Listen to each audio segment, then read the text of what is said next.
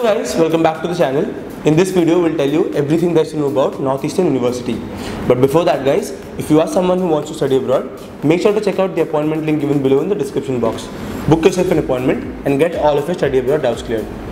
Talking about the Northeastern University guys, uh, it is a private college which was established in the year 1898. It has more than 18,000 undergraduate students, more than 9,000 postgraduate students and out of all of these students, around 34% are international students who come from 144 different countries. Talking about the rankings guys, in the Times Higher Education rankings, this university was given the rank of around 168 while in the QS World Rankings of 2022, this university was given the rank of 340. Talking about the top bachelor's and master's programs guys, you can study pharmacy, pharmacology, uh, you can study computer science and even business management related studies. Moving on to the eligibility guys, uh, so to be eligible for the college, you have to give certain entrance tests. So you'll have to give IELTS or the TOEFL exam. In IELTS, if you have a score which is anywhere between 6.5 to 7 bands, that's a good score.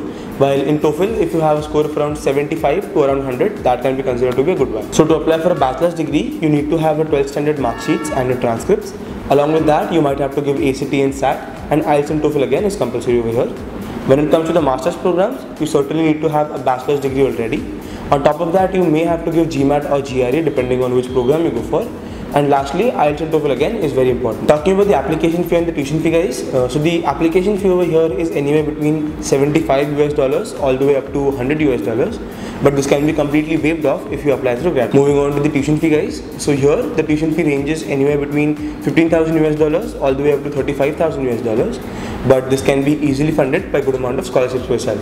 If you come from a good background, you have a good profile, you can get very good scholarships up to 15,000 US dollars as well. Moving on to the jobs and salaries guys. Uh, so an average alumni who graduates from university tends to earn anywhere between 130,000 US dollars to 140,000 US dollars. Last but not the least guys, we have the accommodation facilities. So here you can go for on-campus and off-campus facilities as well. If you go for the on-campus facilities, the average fee that you'll have to pay is around 6,000 US dollars per semester. Depending on which program you are in, different semesters can vary. Therefore, you can calculate your budget accordingly.